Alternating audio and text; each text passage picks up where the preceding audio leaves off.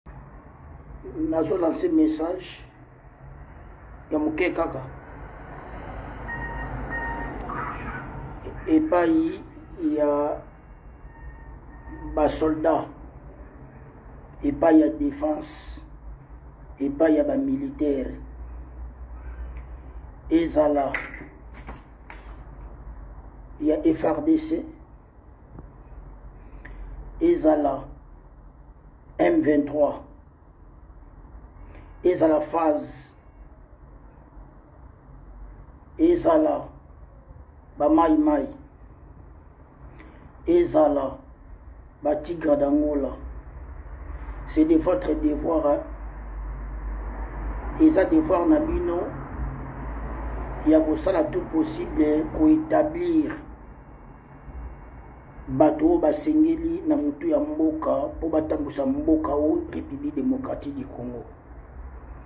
donc je pense que toza kolancer message epa na bino parce que euh, tolobaki ke tobandi rio politics tobandi mosala pouvoir ya république démocratique du congo eza na mabongo na bino c'est vous ezali devoir na bino ezali rôle na bino bino comme étant armé comme état défense ya kosala mosala oyo esengeli mpo na koétablir des meilleures personnes à la place qu'il lui faut au moment où, au, au moment où il faut et avec l'intelligence et les compétences qu'il lui faut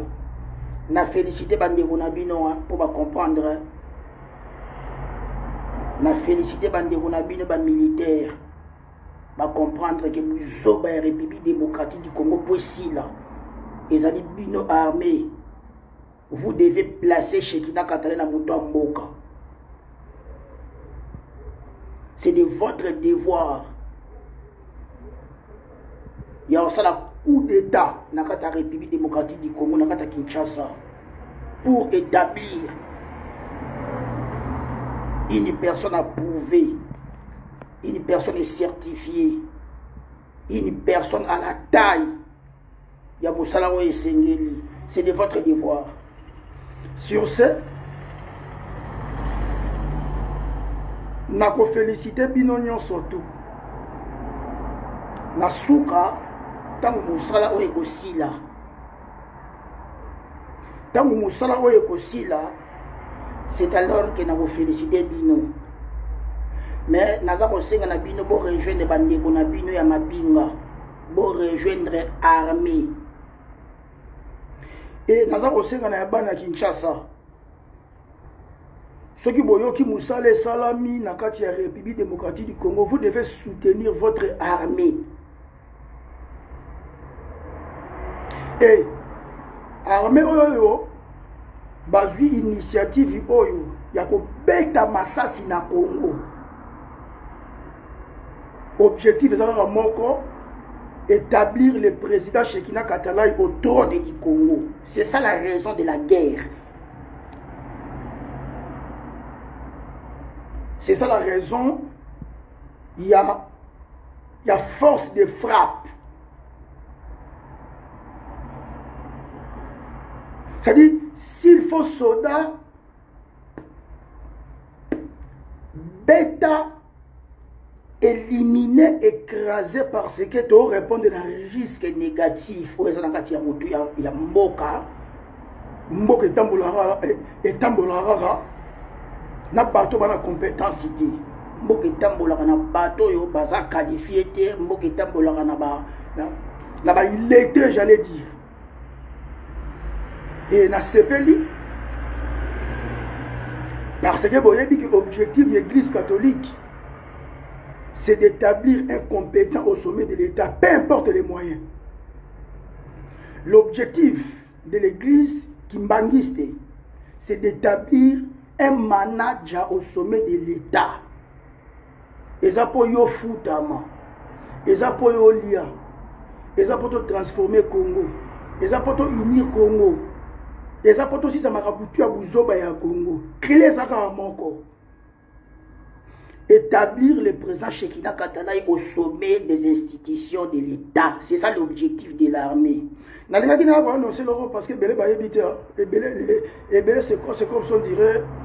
makambo tokosa eza baventure moi je vous avais dit kanga na obeta moi je vous avais dit que moi j'ai passé 6 ans à l'université et lokola nakoti makambo makambo esi na ye tokemba mwa na défense nga na oso bamaseki te bamakambo ya salaka bamarche belaka démocratie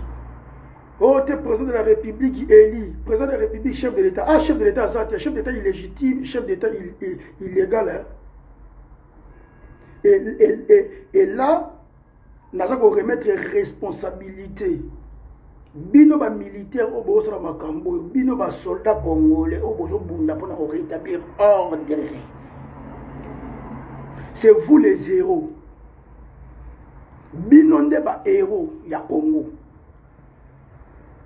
e na félicité bamilitaire nyonso to ya biso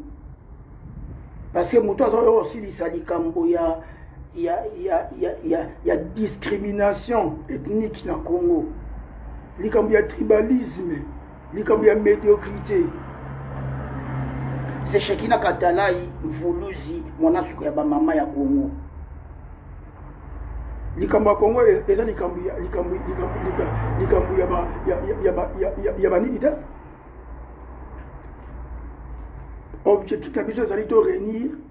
to unir congo e ndenge naoloba boye naza kosadresse na bino bamilitaire omoni omoni bino soki ngai naza koloba makambo e, la plupart na bino ebele ne comprendre pas que eza mpo na intérêt na bino hein? c'est pour votre survie hein? mais nasepeli parce que ebele oyo esi bacomprendre ebele oyo baza détermine tobengana cilongo tobengana félix tshisekedi na congo akanaka baélection te aza présent na biso te etali biso te bainstitution wana eza illégitime bainstitution eza ya biso bacongolais te il nous fait passer du temps inutilement aza na capacité obongisa congo te aza mayele aosa yango te aza na technologie moko te oyo ekoki kodeveloppe pays continent asa yango te bajean aza kosala wana ya kocelebre ya koparlama couleur na stade de martyr ya kotonga mwa ndako moko boya mokie mwelo babiloko tu wana baliya eza badistraction eza na ta ya congo te eza na grandeur ya congo ti tolobaki tokodirige congo lokola entreprise est-ce que vous comprenez donc basoldat oyo baza koreusir eloko oyo bango nde bahéros na biso peu importe couleur ya soldat soki soldat wana abundi mpo na koétablir le module stratégique ya ressources humaines na kati ya moto ya mboka na histoire esili epuis bino basoda bakobundela science bino boza kobundela rétablissement ya ordre professionnel boza kobundela rétablissement ya ordre ya développement boza kobundela rétablissement ya, ya, ya, ya, ya papa ya science ya ressources humaines eza interdit wana kati ya poto yo, yo, yo, yo, yo, yo soki oza na capacité scientifique te mais eza interdit otambusa gouvernement otambusa commune eza interdit moto lokola chef de l'etat na bino wana awa na kati ya poto bakoki jamai kopesa ye azala manaja ya apo akwesa yango ya lobi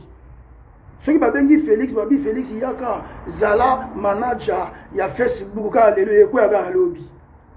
mpo aza qualifie te aza certifie ya komanaje bato te ya kotambwisa bato te yango mona ocree trouble yango ta mboka division ayebi diversité te ayebi inclusion te ayebi te environnement ya lelo eza environnement multiculturel biso na kati ya poto totravaya na bamindele bato mwindu biso tokibaa nde mayele intelligence ya na motu ya motu mais soki yo mpoza otangi te soki oza na bamayele wana te oza na problème oza na problème ya risque oza na problème ya leadership oza na problème ya complexité oza poma changement okoza changement te yo oza application ya changement te okoza changement ndeni oko améliorer mboka ndeni sur le plan technologique sur le plan technique osala ngo to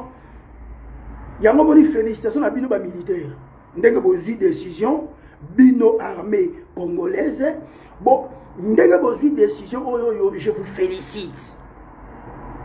e naye koannonce bino ke décision nyonso tu ya bamilitaire na biso congo ezali tobengana baincompétent nous devons établir une personne approuvée certifiée qualifiée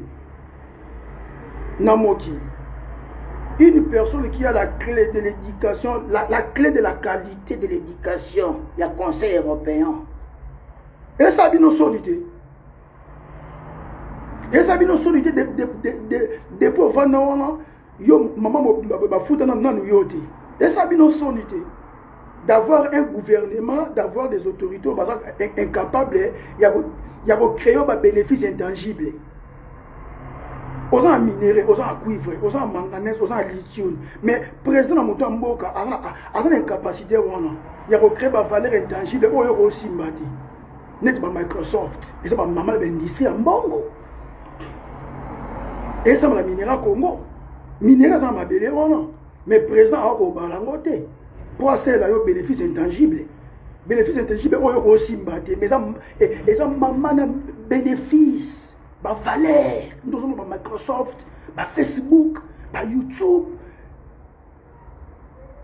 ba cloud ba service now eza bamama na baindustrie ya minene oyo ezosenga leader oyo atangi classe leader formé mpo azwa matière première wana alamba acree richesse ya richesse intangible kongola lia kongola mela kongola futama soldat congolais azwa technologie ekoki mpo na ye mpo soldat congolais azala soldat congolais mais boza moto ya mboka avec un présent oyo ayebi kocree valeur intangible te bino bokosuka wapi bavaleur tangible kuta ye kosala yango te aana incapacité ya kodevelope bavoiture électrique na mboka aza problème ya kodevelope batrain na mboka batgv ana incapacité ya osala arme mpo na arme na ye président akosala arme te mamibengi manager yo manager ndeni président akozwa barobo te bakota basala bilanga kongo il kose komi so ndenge develope esalama na maboko développement esalama na computer na ordinateur na machine président azalaki 13 comportement bamanager kongo ebonga te président ayebi kometide batraitre te yango mona félicité bino armée na félicité bino armée ndenge bozwi décision oyo ya kobunda siko bitumba pour établir un leader qualifié certifié yaloka moto oyo shekina katalai ndenge naza bo ntango bino bosala mosala oyo tozwi mboka kuna qui va se lever devant nous vous devez avoir un leader comme poutine pour réussir le combat critique économique de l'environnement global na choke bino au moment où je suis en train de vous dire hein, omoni besoin ya minere oyo oh, mokili lelo ekomi boye mpo na technologie esali batelefone monde entier électrique makambo to esami lelo na minere ya congo mokili eza na besoin yango 4 francor ti 2040 quatre fois encore de plus mpo mokili oyo evivre baza na besoin ya minere quatre fois encore de plus taka nde babomba bacongolais taka nde basala bacongolais mais eyekende kokoma fois 4 est ce que vous imaginez vous pensez à cela d'abord est ce que botala nani nani nani simulation te botala risque libanda te liboso na biso te botala risque te besoin ya minerai oyo mokili eza na besoin yango 4 fois plus ta moto abimisi secret wana ministre ya commerce ya trade na secteur ya minerai 4 fois de plus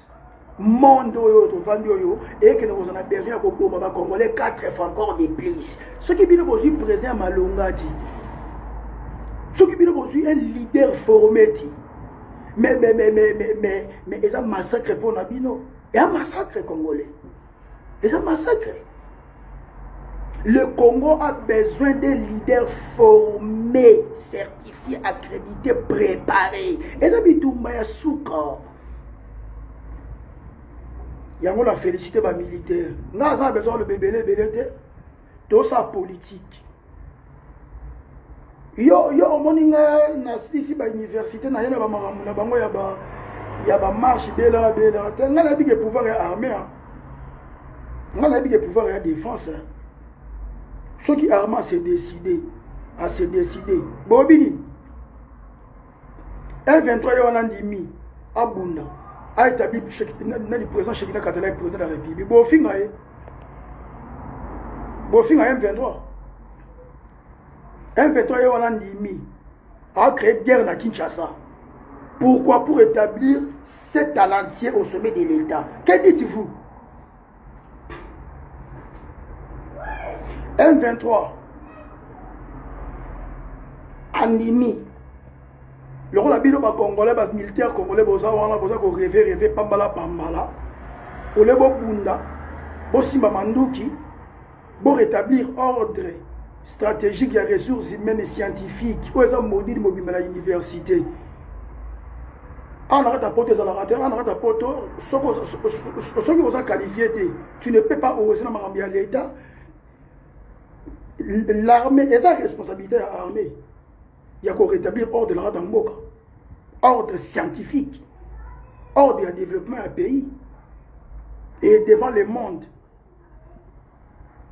M23 asimi manduki aboma n'importe qui na kati ya Kinshasa pourquoi pour établir président Shekina Katanayi au sommet de l'État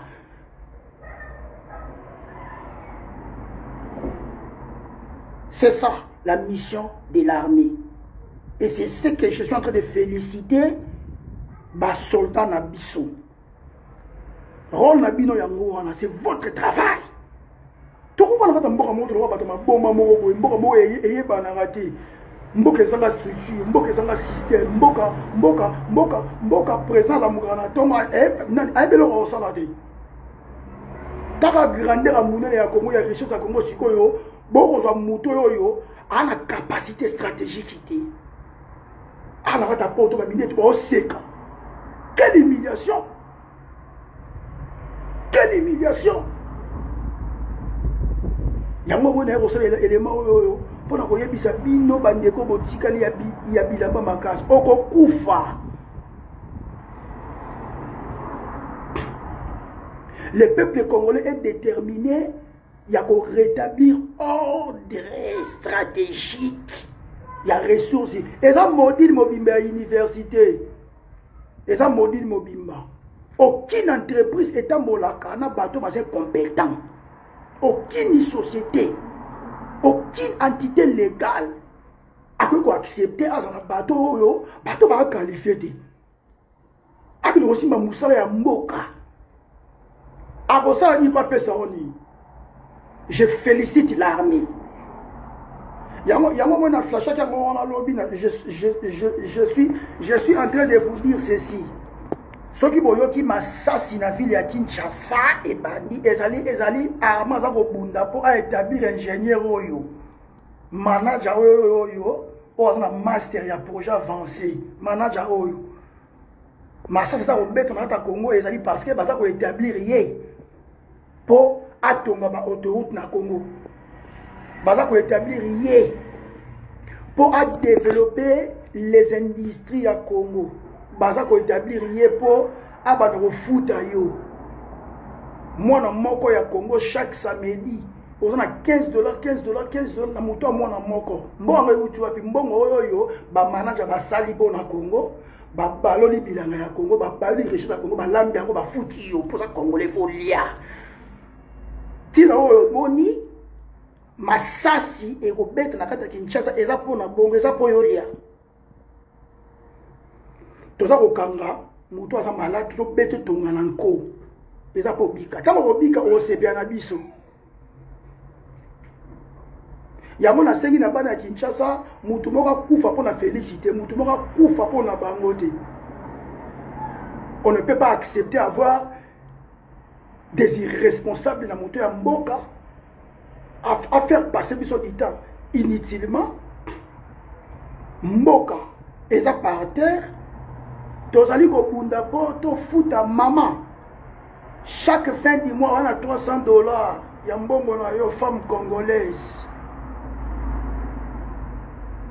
papa ya 65 ans ozwi patient charge no eza biso biso nde bamanage ya biso biso assurance ya hôpital na yo santé gratuite eza ngai nde na kotonga baindustrie wana ya congo mobimba osala yango te ngai na kosala prototype kaka moko na multiplie yango 800 000 hôpital na banda congo mobimba c'est moi qui va le faire mpo na chef ya projet formé qualifié soki omoni moto bachancelier bachancelier ya europe babimisi batie au sommet omoni ntina tokobeta masasi na kinshasa boye cela est justifié le roi bolingaki tokende tokisala politique on va faire bien la politique avec l'armée armée ya congo bamilitaire na biso y compris m23 bazwi dossier wana ya ressources stratégiques des humains oyo eselectionnaka batalentie erecrutaka batalentie bato bana capacité bato bana skills bato bana knowledge bino bokokona ozwa mbongo ya leta bokopesa mpa moto atanga te moto azana capacité académique te ya otransforme yango moto ayebi te qu'est ce qui se passe na nsima telefone wana ayebi te président azanga base de données ya mboka président aza problème ya sécurité ya technologie bino boko nozwa fungula ya richesse ya mbongo ebele bongo boko nopesa mpa moto aza forme te moto oyo okite université na kati ya poto bayebi ye moto baowanga na ye bino boko nokozwa fungola bo bokopesa na moto ya mboka voilà pourquoi l'armée a pris ses responsabilités d'établir un leader approprié à la place qu'il faut au moment où il faut avec l'intelligence qu'il faut est ce que vous comprenez ce que je suis en train de dire hein? donc na, ndenge nazali boye bato oyo arme oyo baza kosala makambo oyo bango nde ya félicité bango nde bahéro na biso omoni ngai ya shekina katalai bato bayebi nga bilabi na bien bien bien te mpo comprendre nga nga na manager nga ata nga égalité na diversité nga nga ata nga lwa tala nazala ofuta banyongo ya bato banyongo oyo kongo ezwa nga naza ofuta ngo nga sheki na matala kobanda mobutu musee nga naza ofuta banyongo ya bato oyo bozwi na afrique centrale wana bino bakongole mosala bino odefaka eloko ya motu mobo ofuta awa na kati ya poto te awa na kati ya poto soki ozwi eloko ya moto ya entreprise ya bato mais soki ofuti yango te mais okozwa enforcement okozwa enforcement a combien plus forte raison nation yo okenda kati ya mboka ya bato ozwi basoda ozwi mbongo na bango ozwi provision ozwi baekipement baye baede yo okoma na congo obaluki o oh, te nga na asa ye wa o oh, te bolongwa kuna barwande te barwande te futa nyongo ya bato legalement futa fo tonionga bato safe groupe oyo eza na kata kongo na banini ezali niongo eza enforcement ya eloko bato bozwaki boyo bofuta me futa bato soki yo baede yo baede yo me futa bato niongo ya bato botala charge onga naza yofuta naza koyoka kende kofuta niongo tala naza kofuta niongo esi bapere afrique central bayebisaka bisheki nokofuta baniongo na bi papa na kofuta funa futa yango banyongo nini bakuti banyongo baprésent na bino oyo bazwaka banyongo bayebi loi te yo manaje mobimba otanga loi des affaires te otanga contrat te boyebi orespecte baagreement ya bato te yo yo signe contrat na, na mboka bato lokola rwanda mais futi ye biloko na ye baka soki ofuti ye te mais akosala yo enforcement yo atobeleli oyo taza koagrese na yo memi nde bakipaa bino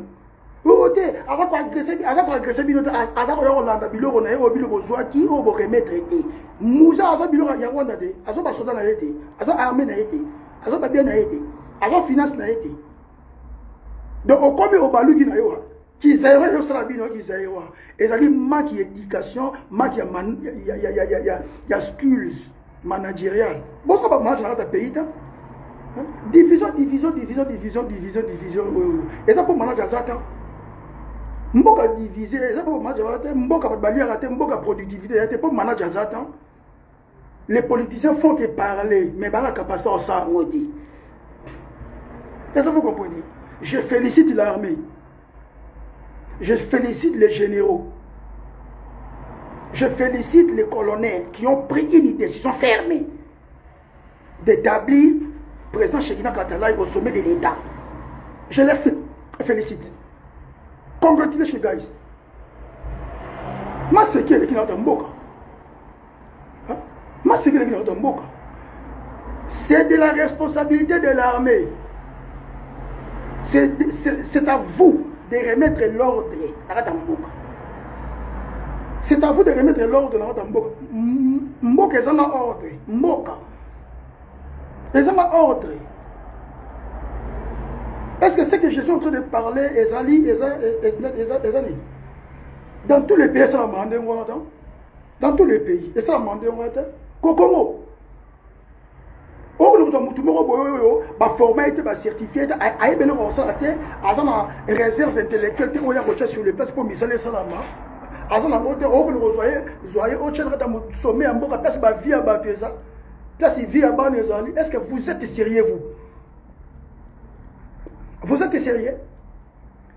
baninga bango babandi mosala baosala mosala mpo na koetablir président sheki na katalai na kati ya somi ya congo yo sondo otikali ya oza kozala basalela yo te o oh, te sheki na katalai ba m23 ba ba rwandais rwandais oyo abotami na kati ya congo acongolais oki okay. un rwandais qui est né au congo c'est un congolais bana ya shekina katalai oyo babotama ata angleterre baa baanglais yo mwana yo abotama ata france a français papa oki okay? babiloko na bino wana ete eh, rwandais ote oh, bana molenge ote oh, babiloko na bino wana ezali manque ya leadership vous, vous avez des présidents oyo baza na problème ya, ya, ya managerial bino bino kongo eluka bato monde entier mpo badevelope ta omoni kongo asheki na lobi zoka afrique du sud mpo okoma elona oloba na yo okovanda boye voisin na yo anglais okovanda boye voisin na yo kenien naobeta environnement multiculturel elonga naoso na kongo yango wana naokende kointegre tout le monde na kati ya kongo elo bino bokomona yango te yango wana ce que moi je suis en train de faire okomona mpena policier ya chinois congolais bomona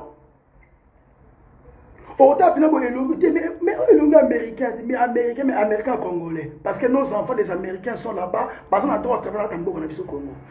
ngai naza globaliste ngai naza na besoin kokomisa congo unité ya solo naza na biso kolokola discrimination wana oyo kobambanga bato oh, te botala ye rwandais banamurenge ebosala eh, rwandais congolais donc yo na kaka poto oyo banda kotambola wana olasakomisa bino botala ye mondibu wana mais bakokanga yo discrimination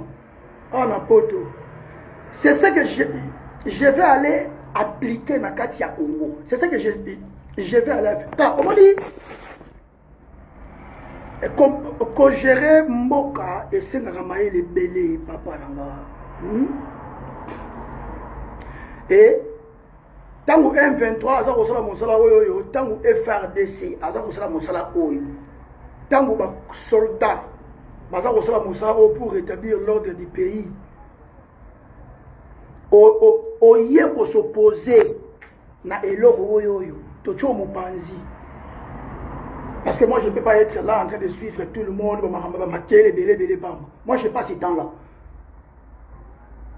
moi objectif na ngai ezali na développer mboka na congo alors je le fais par la force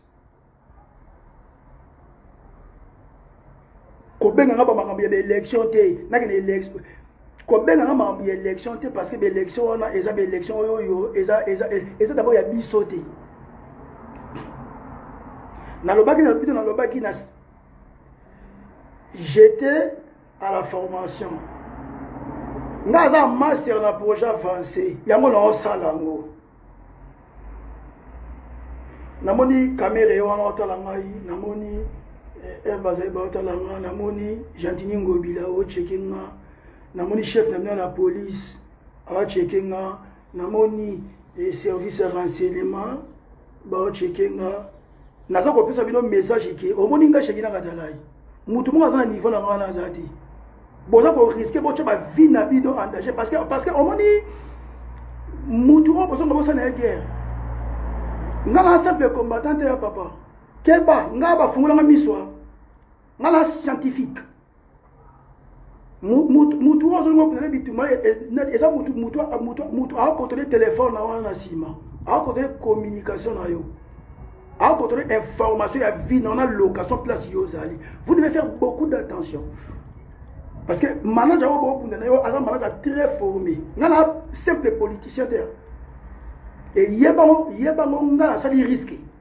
moindre effort bana mitige yo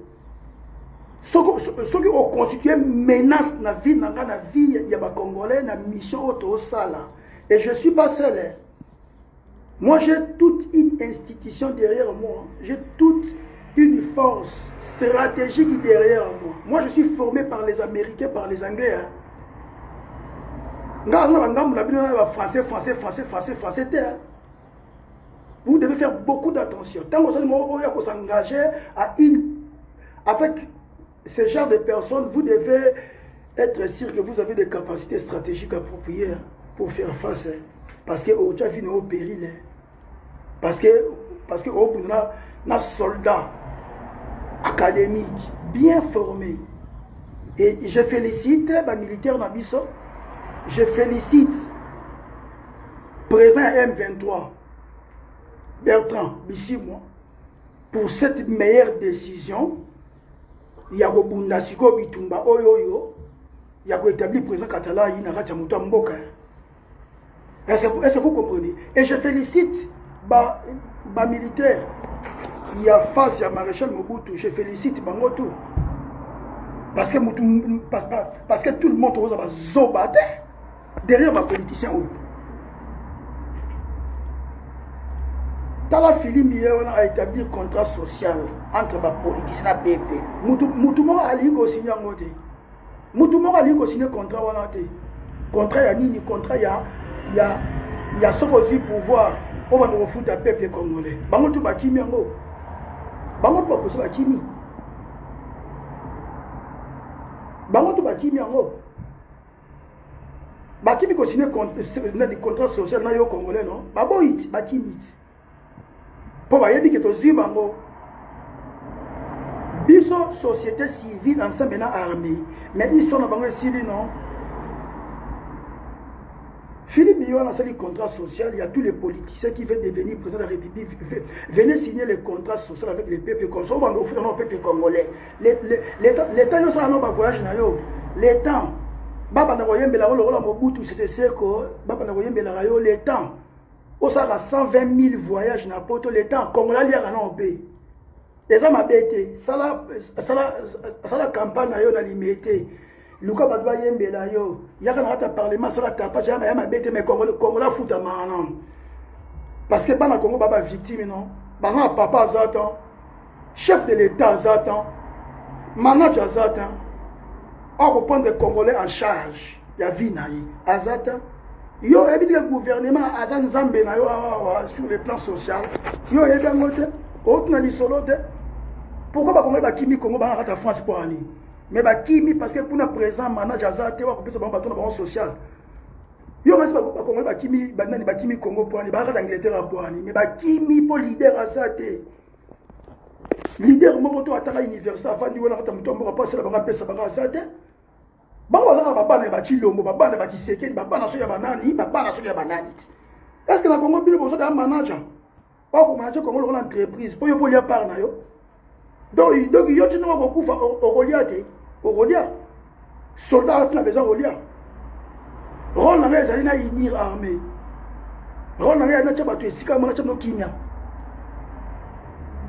makambo ya kolamba tozwi ya kongo kobalola yango me eza mosala na bino te eya mosala mokonzi ya président ya république nde moto akosala yango mpona bino manager ebongo ntanga ebongo nini yo otanga ye mpona nini eza po kombone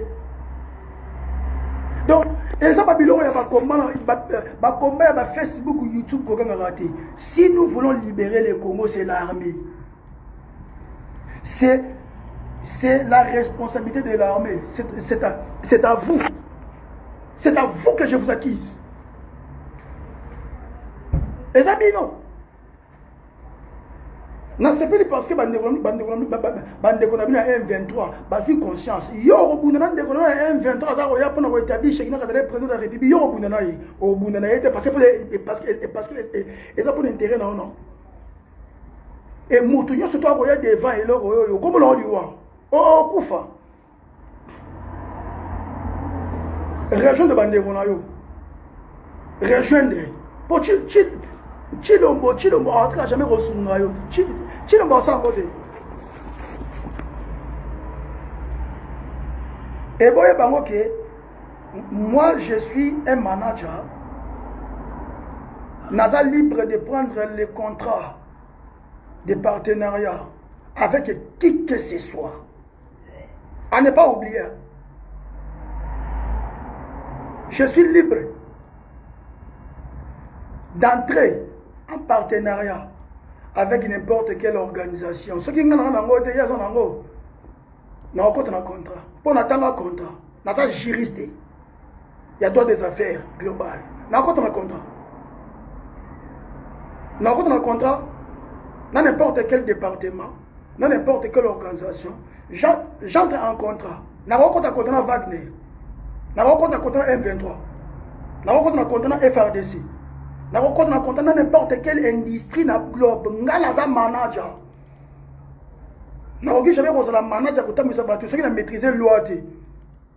système legal nga atanga contrat sadi bopesanga mosala ebele esi nasoli makambo wana bopesanga mosala ebele j'ai accepté ya bafuta alors botyanga calme nasala mosala oyo esengeli naza na 5 ans pamba naza na 6 mois ya planification nazwi 2 ans na exécuté une année nasala évaluation na nga epuis une année demi nabomi seni oyo napesi mama seni ya solo po il faut kozwa mpena seni ya solo congolais aza mpena libre ya vote 5 ans na démissionne nazongi nanga baaffaire nanga namoni ya félix lobi abekisi nani réunion ya sécurité aolinga kaka bo réunion ya sécurité yo oza na sécurité yo yo boyi technologie ndeko nani ndeko moko ayebisa lobi mais il a fallu ozana oshekina soki ozoki shekina ongo oza makasi félix aza na ngambu na yo baconseille na ye baconseille babizwa shekina ye aboyo abi te soki nazwa korenverse nga me nga na korenverse moi je suis congolais parce que olinga olinga te kongo ekozala développe ese nga mpona renverse nani eza problème eza problème te nabandi mosala na mpona renverse epuis na renverse simple nayo na version simple soki tolobi tozwa vila kinshasa kaka lelo tozwa vila kinshasa kaka lelo tozwango comme bonjour mpo congolais moko te akolinga bunda mpo na yo aza na ye te aucun congolais aucun soldat congolais congolais akolinga abunda abunda makambo mpo na yo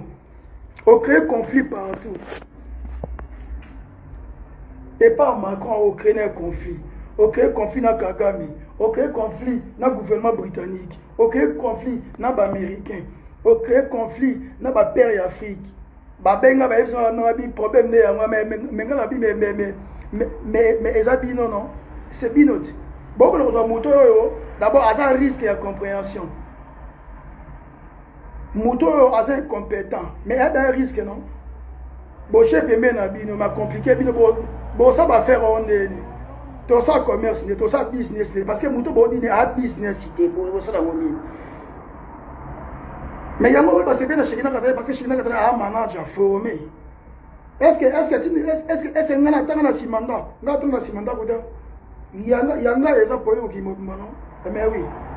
la meilleure personne à la place qu'il lui faut, au moment où il lui faut, avec l'intelligence qu'il lui faut et des capacités qu'il lui faut. C'est ça. Discipline, il y a ressources humaines.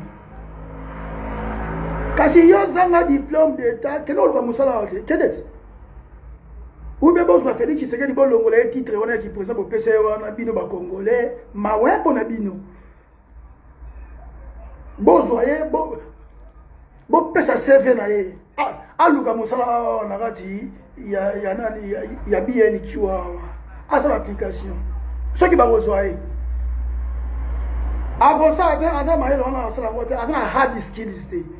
asala ngo ndeni mpo makambo etambolaka sur le plan technique yo computa oyebi te yo baapplication oyebi te oyebi kobokola computa te oyebi koekize computa te mpo omona simulation ya makambo ekoya après 6 mois yo oza na problème wana oyebi koekize computa te mpo omona prédiction ya lobi mpo omona ki performance indicator la performance clé ya indication ya post modernisme yo oza na problème ya philosophie oza na problème ya paradigme quatre paradigme ya changement radical oza na problème wana okosala ngo te oza na problème ya nani ya régulation ya mboka d'abord yo moko leta oza na problème ya régulation ya mboka taka taka mama yembo etraite bato mais yo tie régulation te econtrole mama yembo sante bawapesa congolais congolais wakufa lokola zoba mpo azanga leta akotyela ye régulation ya santé mpo badokter oyo baza kotraite batraite ndenge esengeli kongola kufa te yo oboyi kotya momeme oyo expose biso yo oboyi kotya régulation mpo na oprotéger peuple congolais contre baaksida na mboka yo oboyi kotya régulation yo oboyi kocréer entreprenariat public ya l'état yo oza na capacité ya koindustrialize congo mobimba oza na problème wana okosango te osango ndeni okosango tan cetadire yo moko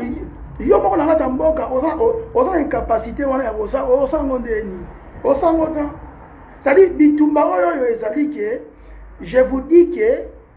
m23 frdc bakomando na biso basimbi manduki mpo babeta kinshasa baétablir président shekina katalai président ya mboka atambusa na mboka ndenge esengelaka comme ça totala bamédiocre oyo ndeni bakobima devant mindele devant mondolobo oh, te yaka sikoyo totala totala sikoyo motu nini yanga kobima loba oyo oh, te ndenge eza wana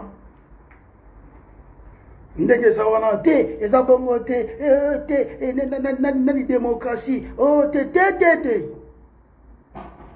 boyoka soni parce que nakoluka je suis en train de vous chercher un par un kobanda na premier ministre na bino wana sama lukonde naza kobenga azokima bino tu baministre boza baportefeuille na bino wana esalaka dabord te epuis baportefeuille wana bon na je m'arrête par ici j'allais venir encourager l'armée j'allais venir encourager la force de défense likambo boyokaki tshilombo aza kokosa o oh, te ba m23 ba m23 ba bacongolais baza ba congolais oyo oh, yo manager oza na insuffisance, insuffisance intellectuelle ya koprendre so ya pepe na wana oyo baomema valeur na mboka oyo baomema contribution na mboka oyo baomema productivité na mboka bango baza kobunda mpo parce que yo oza incompetent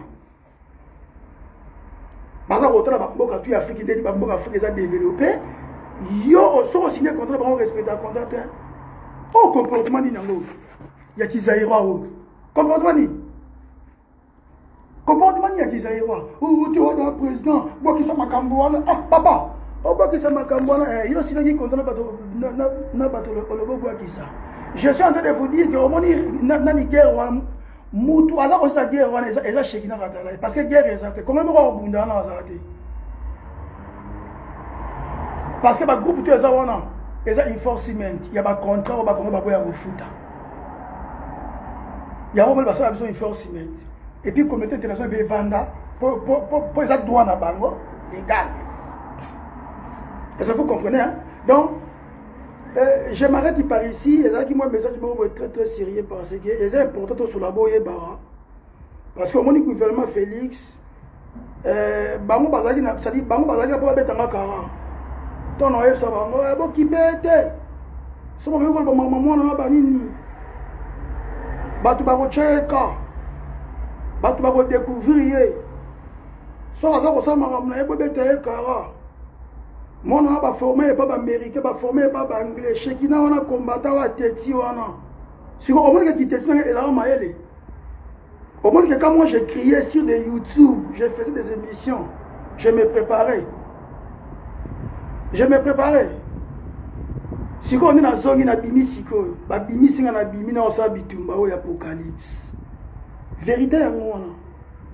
quand je criais sur de youtube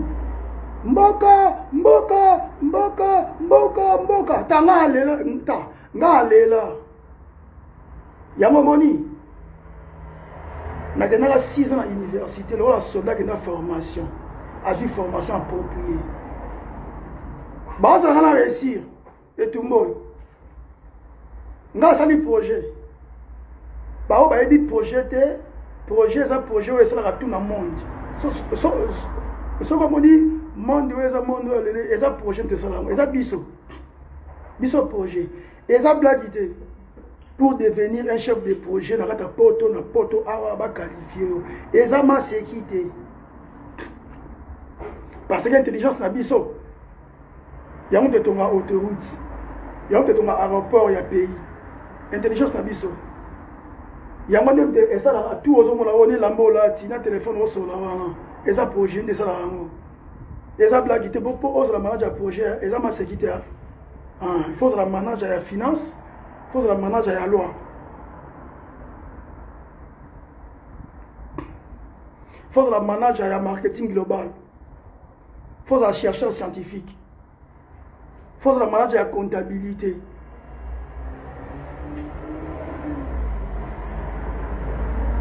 faut ozala manager ya technologie eza blagi te soki omoni mondele aya makisi agangisi yo likolo kuna ayebi parce que mayele yango eza bango bato bapesi nga kua bango bato bapesi nga mpona esala wana libere congo babikende sauve yo moko sauve mboka na yo sauve famille na yo sauve communauté na yo sauve pays na yo vasi kende kende contribue tonome yo citizen of the world ta titre na ngango wana citoyen du monde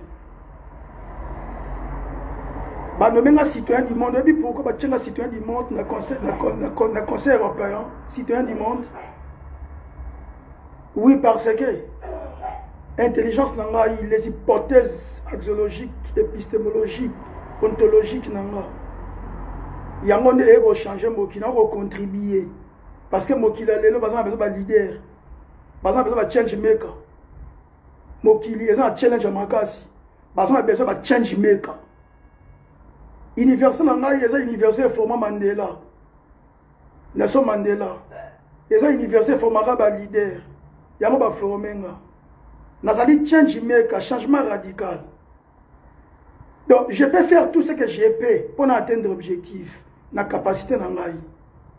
C'est-à-dire, en d'autres euh, en d'autres termes, je suis très dangereux, quoi. zero zero quatre abenga bi président ndenge oza na oza elema batre mpo na banguna mais oza opportunité pour le congo mponga na risque donc nazali nazali déterminé na sauver congo nazali déterminé na remettre deuxième indépendance économique nde toya nango awa mais yo efoli oyo omela le problème ya congo ezalaki problème ya gestion problème ya gestion omoni fonction wana na kati ya entreprise entreprise eya lokola nzoto ya motu eh? eza bafonction yango maboko makolo eteni na eteni ya nzoto eza eloko yango esalaka mpo nzoto ezala nzoto corps ezala corps eza vous comprenez sikoyo fonction wana ya ressources humaine wana eza fonction ekenda kotala bato nini esengeli bakota awa awa ressource nini oyo stratégie esengeli ekota mpo eloko esalama c'est ce qui manque au congo genre nini ya, ya, ya, ya, ya, ya professionnalisme genre nini ya compétence esengeli ekotaka na kati ya mboka o congo mpo congo lelo ezala congo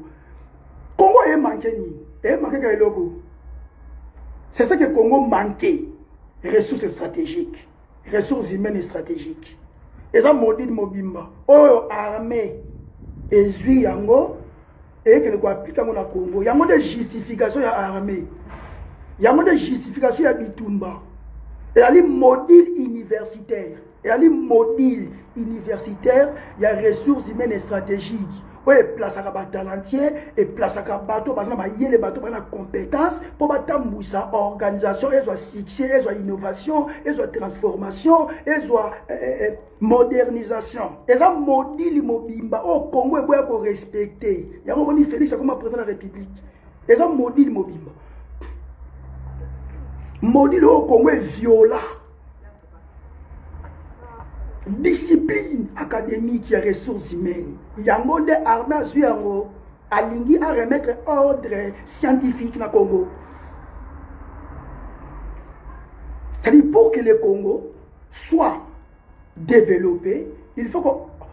il faut que ordre wana scientifique wana ya ressources humaines stratégique ezonga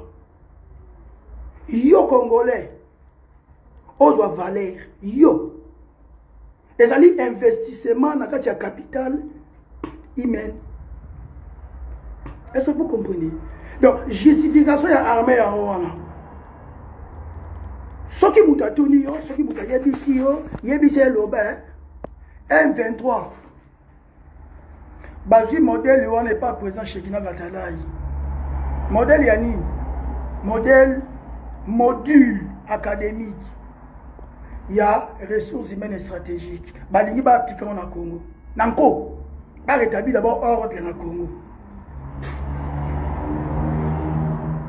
ordre scientifique na congo c'est-à-dire mboka oyo ezanga ezanga ezanga ezanga leta ezanga régulation ya kocontrole misala oyo oyo gouvernement aza kosala ezanga régulation mpo soki congo ezalaki na régulation ya makambo oyo oyo nde félix akoma présent te nga akoma président te eza parce que mboka eza na régulation mboka etambolaka régulation aza kobela mpe paradigme ya changement radical paradigme ya changement radical cestadire ye soki ayoki ngai naza koloba likambo oyo peut-être ayebi na ye te lokola bango balengaka bango balengaka bafrançais bamindele ale eh, un nouveau narrative ya changement radical yo oyebi narrative ya changement radical yo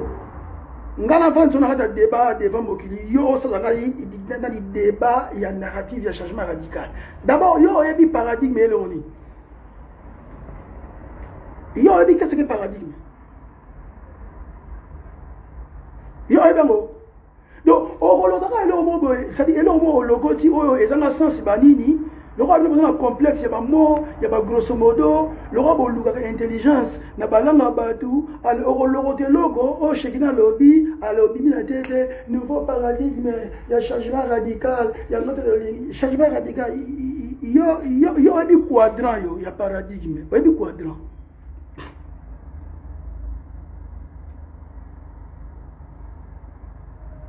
oyebi quadrant président de la république qui parle des choses qui ne comprend pas yo yo tanga science yo okobeta makambo moko boye neti kaka neti neti oyebi Yolobaka français, tu parles très bien français. Pourquoi tu ne développes pas le français comme Emmanuel Macron le fait Pourquoi nous sommes demandé yo ozoloba français emmanuel moko olobaka français mais bango badeveloppe france boye elo oni ezangi yo mpo olobaka français odeveloppe congo qu'est ce qui te manque l'intellect l'intelligence les capacités techniques des compétences est ce que vous comprenez nasepeli na armée bino boza bato ya, ba, bato ya, ya kobwakela m23 baflaire mpo bandimi basala mosala oyo baetablishe bino katala ye président congo bino bacongolais bino mpo basoda na biso bavandi awa cestadire ti ndenge shekina crie ti ndenge shekina bande koka moto moko ata kozwa initiative yo te armée moko te général moko te major moko te azwa initiative ya kozwa intellectuel ya boye totyana kata butu ya mboka mpo buzoko oyo esila vous avez besoin de, de leader boza besoin ya leader transformationnel atransforme bino yo oza transforme ndeni yo oza na talence ya technologie yo okosala nani okotonga okotonga congo mobima ndeni pays pays continent okotonga o ndeni soki oza na leader na manager oyo aza na projet technique ya français na poto te oyo aza na bacapacité tu mpo ngai naomema technologie na congo ngai naobuka technologie europe mobima naobamba o congo mobima c'est moi nga naosa yango asomba yango ndeni yo basomba yango na carte bancaire basomba yango na carte bancaire te basomba yango na qualification il faut kota na kati ya librairie ya itl information technology infrastructure library osomba matériel mpo na kosala opération omema nani knowledge okosala ngo ndeni okofixe baincident nde ndenge nini na baproblème ndenge nini okosala ngo ndenge nini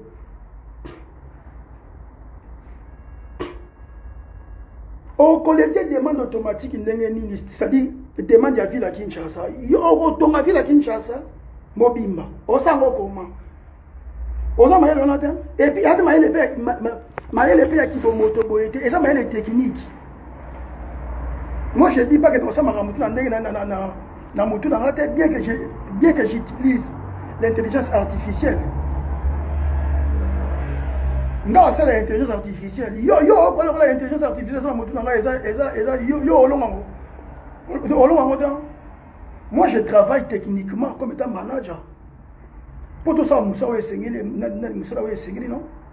eza vous comprenez alors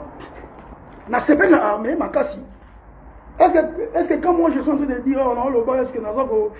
naza ko marcher les mots na marcher les mots ta tala naza ko développer industrie ya ba voiture électrique na poto congolais na kati ya congo azo souffrir mais industrie eza na poto minere euti congo eye na kati ya poto totransforme tosali voiture électrique mondele azwi mosala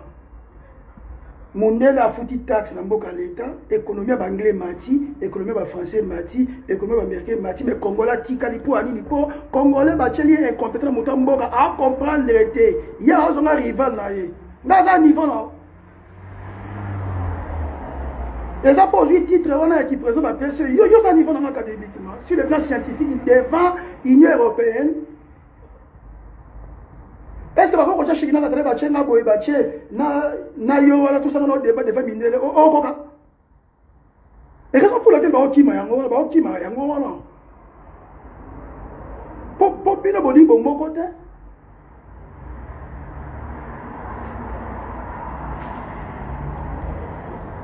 raison oyo omoni armée a décidé abeta masasi na kaka kinshasa c'est pour établir ses talentiers justifié na mokili justifié devant le monde justifié devant les chancellerie nini oyo te bitumbe ebunaka ta ville ya kinshasa nini oyo te baliba établir talentier na moto ya mboka ba établir malade yango oyo oyo aza na master na projet avancé na poto yango yango bakobunda bitumba bapanzi kinshasa mpo na nini mpo bayi bayi bato ya moto bakomisa président de la république par la force kasi eloko yango yango wana te donc bokozwa bacommuniqué ya armée bokozwa bacommuniqué ya défense tous les militaires oyo ya biso ya frdc baza na bango courant moto moko te akondima aboma nzoto na ye akufa likolo ya, ya, ba, ya, ba, ya, ba, ya, ba, ya ba compétent et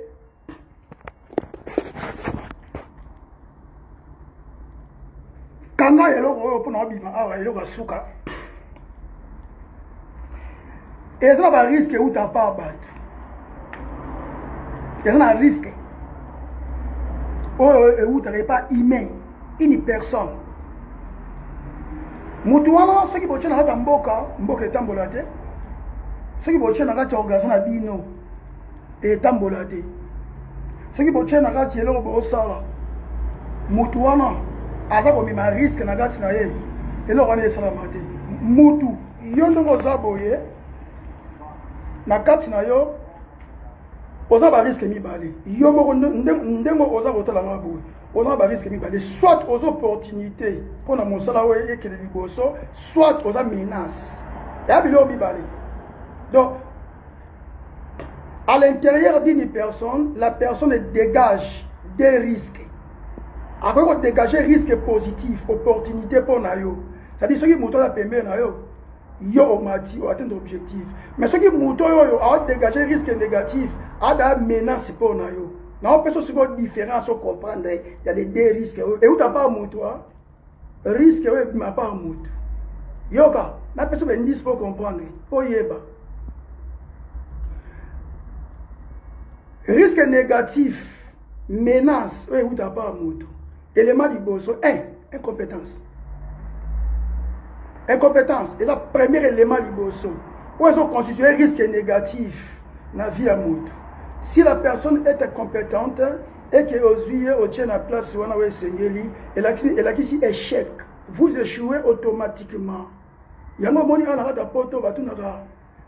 You have experience. You have expertise.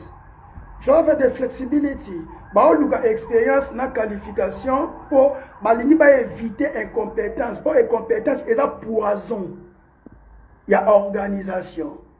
poison oyo poison oyo humain aza kodégage na kati na ye eza incompétence soki ozwi na bafere na yo na kati ya kompani na yo na makambo oyo osala ozwi ko oplace un incompétent yo operdre epuis mbongo oyo ofute ya salaire mbongo wana ekofele ye apesi oka incompétence yo, yo, yo okufi wana lelo ka liboso kanga yango lelo eh. mpo osola na chef de projet ya master avancé nateka nateka ya intelligence na baindustrie privé na public ya leta naa na cabinet a na poto oyo na lance sikoyo cabinet wana eza cabinet esala todeveloppe bavoiture électrique todeveloppe babatterie na biso électrique epuis eza cabinet oyo etekaka minerai epuis eza cabinet ya consultation ya technologie ya management ya projet yoka deuxième élément ya poison oyo ewuta mpa ya motu deuxième élément ya poison mauvaise compréhension à ce qui est demandé deuxième est poison oyo oh, moto adegageaka mauvaise compréhension à ce qui est demandé c'est à dire ce qui est demandé de se faire ye ola comprendre yango ndenge esengelaka acomprendre eh. voilà kozanga koyeba eza liwa ya ndambu mais ya da poison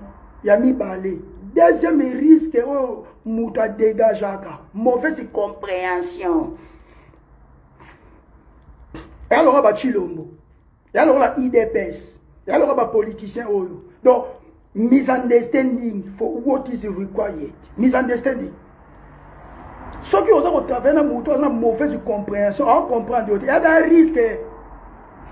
mpo na yo troisièmement risque négatif oyo ewutaka par motu ezali eh? lack of the right people for the right place at the right time with the right skills manquement ya la bonne personne à la place qu'il lui faut au moment où il lui faut avec l'intelligence qu'il lui faut avec des capacités qu'il lui faut soki kaka moto wana aza te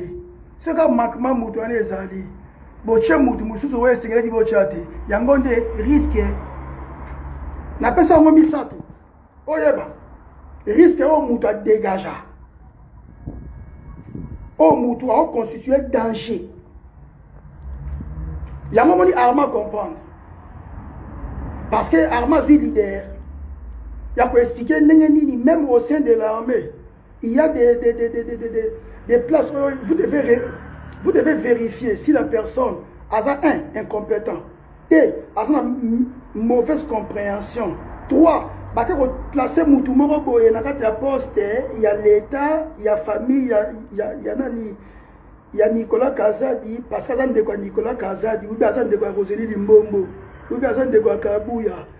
na ndenge ya relation ya kicoutume ya kifamille bazwi moto abatyela ata place wana kasi yango nde riske te riske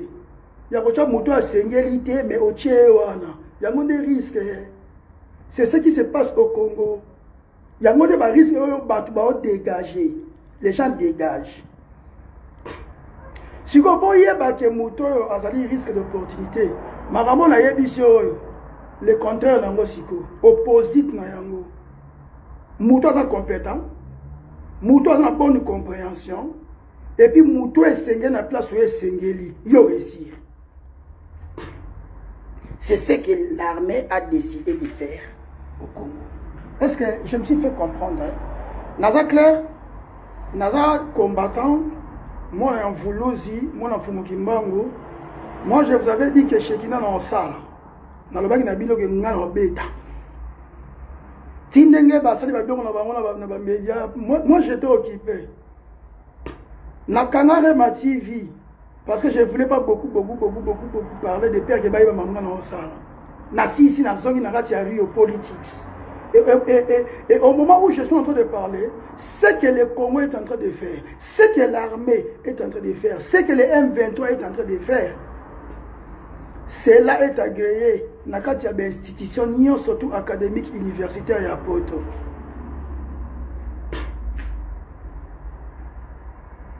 États-Unis agréé.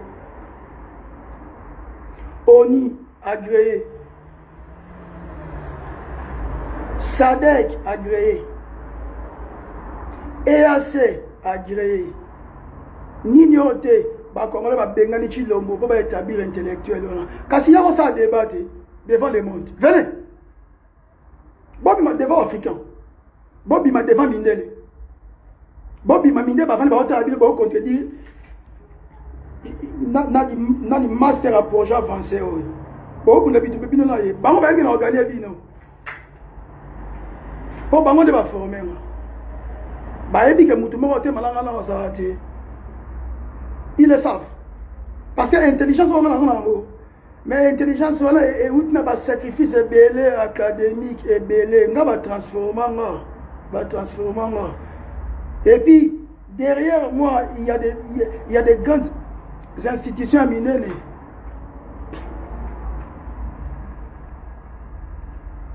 epuis basengi na conseil européen balobi à chaque fois shekina aza koya na babiro na na babiro na bino bofungole nzela expert académique scientifique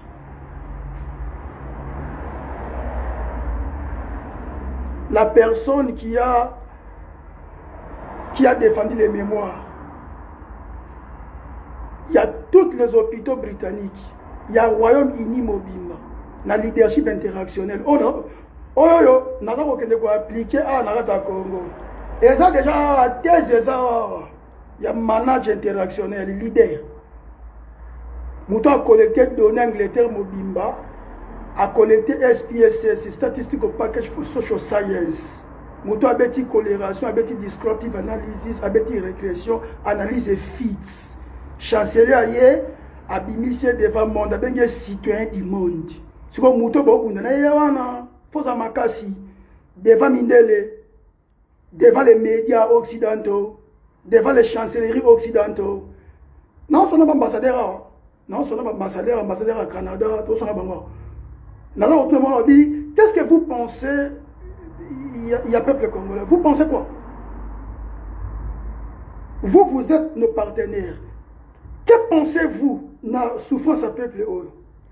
epala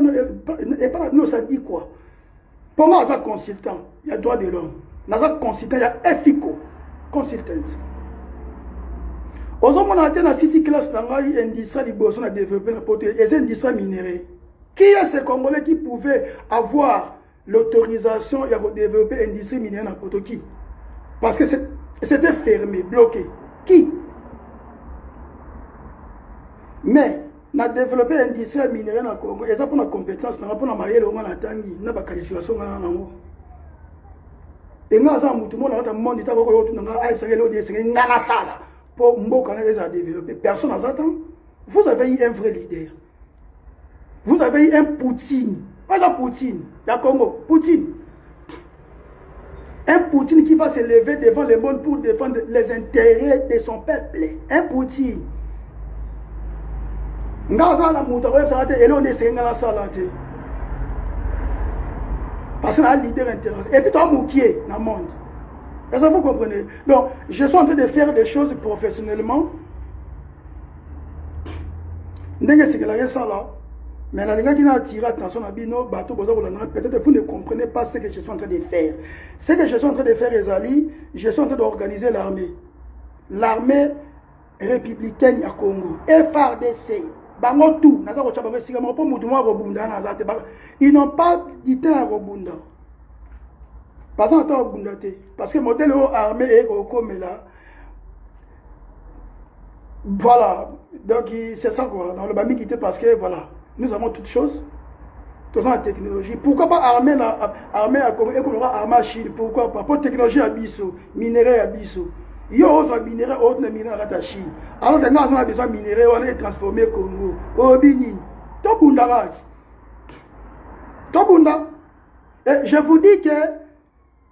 Je suis en train de travailler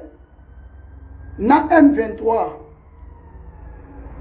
tobengana félix tshisekedi na kati ya moto ya mboka alongola moto ya mboka to réunir mboka ok je suis en train de travailler na armée oyo bandimi bazwa intelligent oyo batya na kati ya moto ya mboka azala président ya république démocratique du congo comme ça mokili emona soki ye tshilombo aza na besoin kobundisa intellectuel na moto ya mboka aya koya kobundisa intellectuel na moto ya mboka totala je pense que awawa badiscours esila bozwa video bopatolo mokili mobimba video oyo ezala avertissement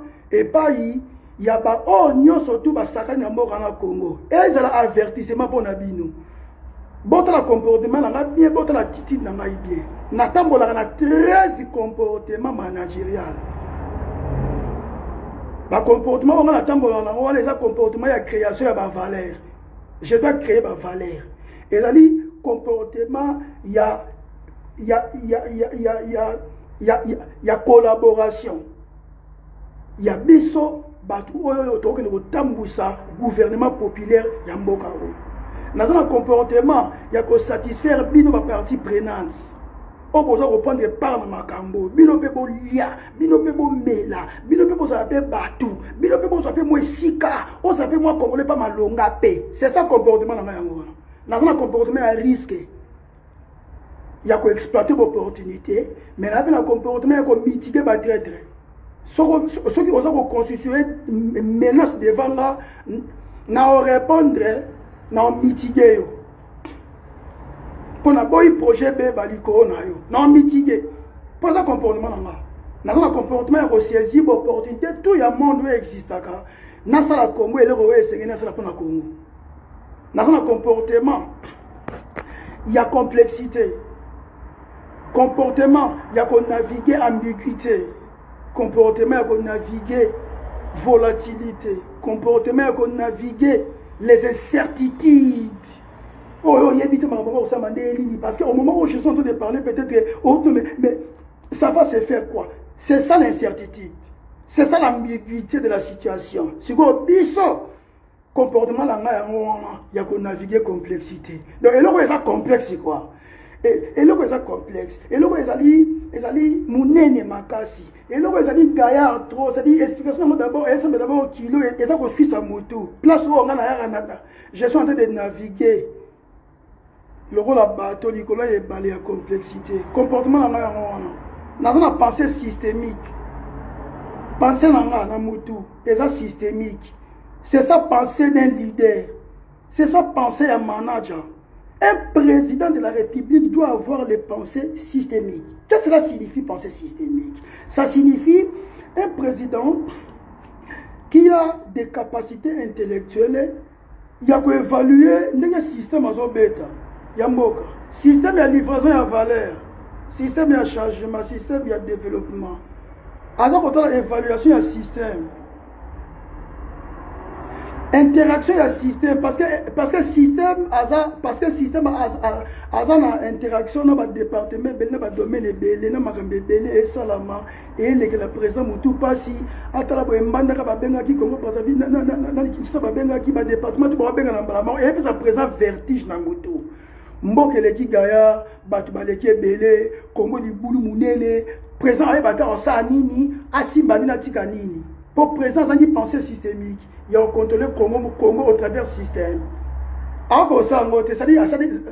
na bacapacité bacapacité stratégique systemique mpo na kotala ndenge nini système ao répondre système ya mboka ao répondre système oyo atie na place mpo eh, système abe te acrée production acrée productivité asala changement sikoyo ye ana problème ya computer ana problème ya, ya base de données ya système mpo na kotala nde ni système d'abord système yango mpe ndenge eza wana ti ndenge système wana eza constitue ye ayebi yango te basali yango ya kosalela baokosa ya kokosa ye aondimaka yes yes yes eza bacomportement na ngai yango wana eza comportement changement na permettre changement ekota to atteindre état futur envisagé eza bacomportement na nga eza baprincipe na nga kua managérial vous comprenez donc na soki na nga mingi kolobela li te respecte nga tyanga na place na nga ndenge mundele atyanga na place na nga kozwa nga pete te parce que peut-être euh, euh, okoki kosuka kaka na otala facebook na youtube yo osuki wana mais na nsima wana mambe eleka na kati ya satellite na kati ya base de données na kati ya cmdb na kati ya csdm peut-être yo yo oyebi yango te faut comprendre je vous avais dit que combat ya congo eza combat ya communication ya information nalobaki na bino ke combat ya congo ezali combat ya technologie tokolibere mboka na technologie tokodevelope mboka na biso na technologie tokoba prospère na technologie intelligencia nde moto esala mosala wana hein? nzambe abatela bino nzambe abomba bino boencourage bato oyo bakosala mosala oyo mpo mosala esalama boencourage bango peu importe armée oyo ekoya mpona kostenir biso bino bino bo welcome yango hein? on peut même prendre l'armée ya mali eh. toprocure armée ya mali asele biso mosala pito bamanager nga kozwa armée epa asimi koyite eh. nga kozwa armée pa vie sasua eh. nga kozwa armée pa vie lorenzo nakozwa armée pa kagame mpona sa mosala congo nga nanga manager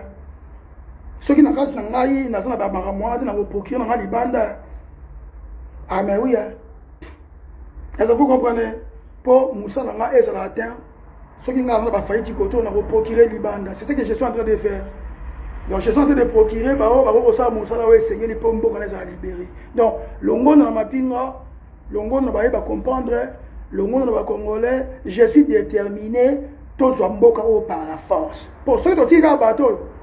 totiki baincompétent oyo ils seront là en train de blaguer ya kosakana na bainstitution universitaire ya poto ya monde oyo esali monde oyo ils seront là pour blaguer yango omoni armée défense c'est de votre travail yo oza kolanda ngai oza moto ya aner nde oza kolanda ngai ya eh, mwana wana aza na poto aza koloba fait beaucoup d'attention fait beaucoup d'attention motu oza koswa na ye oyo aza motu ya baje wana te parce que rétribution ekozala makasi tozwi yo na makambo ya buzoba na makambo oyo ezanga discipline na makambo ya mboka nkombo na yo elimination kokufa mpo na cilombo te kufa mpo na mwasi na bana na yo bunda mpona moto oyo akoya mpona kodefendre eh, valeur na yo bainteret na yo bainteret ya mwasi na bana na yo bunda mpona mboka kobunda mpona individu te eza yiba yiba yiba yiba yiba ye na mwasi na ye na bana na ye bayibi de ekoki il doit partir atika mboka na bato esengeli badirige mboka mpo yo ozala sauve soki lelo oyo obeli hôpital malonga ezala te totongeli hôpitali te obika ndeni oza na droit ya santé gratuite no oza na droit éducation gratuite baétudiant baza na besoin ya mbongo na bango ya master batanga batanga si congo était sérieux mais ciloba yango otya paquet mpo na bacongolais batanga ata na ligne tu peux être au congo mais tu étudies en états-unis aux états-unis je m'excuse tu, tu, tu étudies en angleterre Vous pouvez être au Congo, mais vous étudiez partout. Pourquoi le gouvernement n'investit n'investit pas na kati ya éducation ya mboka pourquoi pourquoi gouvernement ana problème ya kochange portefeuille éducatif oyo esalaka te oyo portefeuille nani portefeuille oyo eformaka bato balobaka langue ya bapaya mais ils n'ont pas l'intelligence technique pour le faire baza na hard skills te ya kosala yango te gouvernement boyi koinvestir namoni congolais moko asali mwa voiture moko boye ya nini nani présent aoseka présent ye moko entrepreneur te ye moko ayebi dabord innovation te eza faut comprenez donc je, je, je m'excuse nasuki awawa que le seigneur vous bénisse que le seigneur soit avec vous zwa video otindela yango bango yebisa bango loba omoni shekina wana oyo botindaki christian nani christian bosembe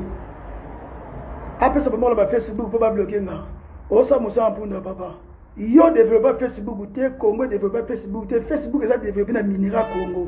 oyo yo Christian Bosembe na, na, na Felix Tshisekedi na Sama Lukonde boza wana na mutu na bino bokezonaka te un jour bosala richesse oyo eza intangible bakongeli balia na mutu na bino avec minerai nyonso to ozalaka na, na Congo wana façon ya kocreye richesse intangible na Congo eza te mpo Congola alia mpo congolais amela congolais afutama epai na bino eza te donc mineral congo eza kaka mineral ekelaka libanda eh. mineral congo ekoki jamais kosala eh, nani nani nani cloud base ya base de données ya monde mpo eteka baproduit numérique eh. bino baproduit numérique ezalaka te boteka baproduit numérique te tout oyo bosalaka eza bapaya basalaka bino kosalela tableau périodique wana oyo botangaka bobwaka yango ya kobwaka eh.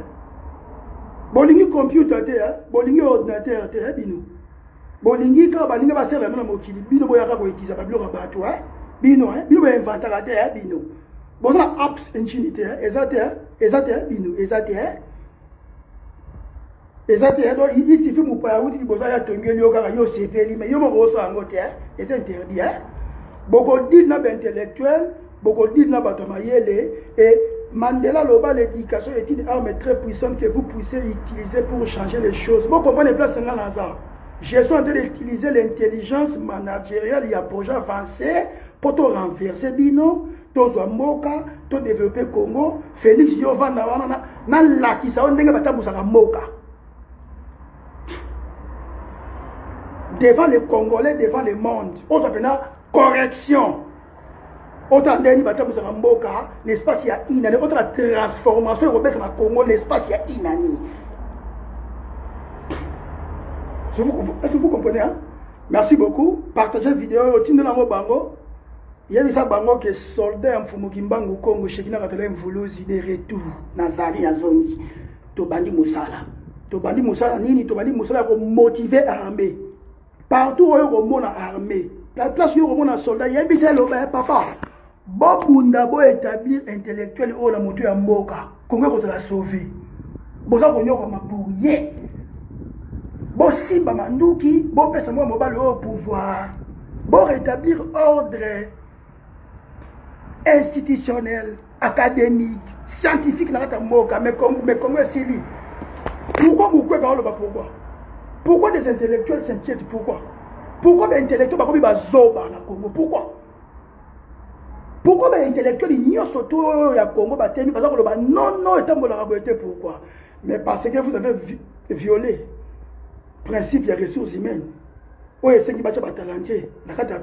na kati ya baposte oyo esengeli ya leta mpo basala mpo na pepe mpo peple alia mpo bana balia mpo avenir ezala sauve est ce que vous comprenez hein? donc bino bato bozala maseki na congo chilombo akoma baplace oyo ngai nakoma te oyo oh, miso nanga mibale mona chilombo amona yango te chilombo akalaka na simple poste ya pamba ya président ya république oyo soki bapesi n'importe qui azalaka président ya république président ya république ekipaka te on peut donner ce poste là à n'importe qui azalaka président ya république azala na bagarde aza na autorité wana akozala na nini wana mais eza mayele te c'est pas dit que si vous mettez quelqu'un ata moto ya mboka nde bokomisi ye ingénieur nde bokomisi ye technico manager mpo na kokoma manager ya kodirige bagrande eh, organisation eza blaki te vous devez te former hein, accrédité certifié hein. ça vous comprenez hein?